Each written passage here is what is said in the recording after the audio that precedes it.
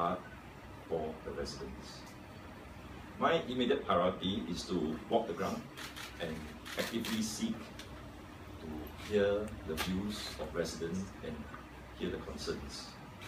In the short period that I've been here in Pasir Ris Punggol, I have had some opportunities when I first retired to meet the grassroots leaders, to learn of their experiences, to hear the suggestions of things that can be done here.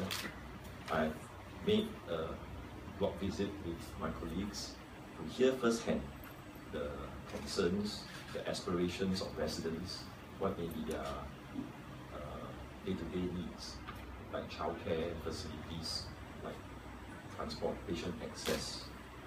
I also had the privilege to attend MPS with DPM uh, last night to hear of the ground concerns of residents who may have problems or issues and see how uh, I can, in the future, value add to the problem solving process. I have had some experience in Ang Mo Kio FSC Family Services Center uh, in the early the 2000s, 2009 to 2014. Well, of course, it may not quite be the same level of issues.